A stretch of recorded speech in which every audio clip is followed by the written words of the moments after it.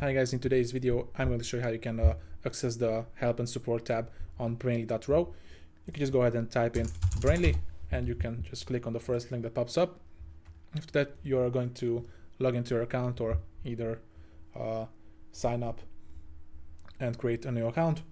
Uh, after you're done with that you can just go ahead and scroll all the way down here and you can just go ahead and select this second option here, this button, and you can just uh, see the regarding problems and the solutions for your account.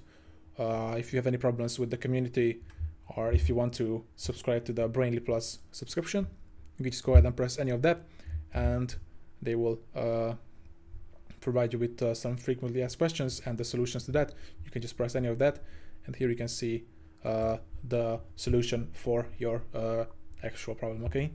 So that's it for today's video guys and see you in the next one.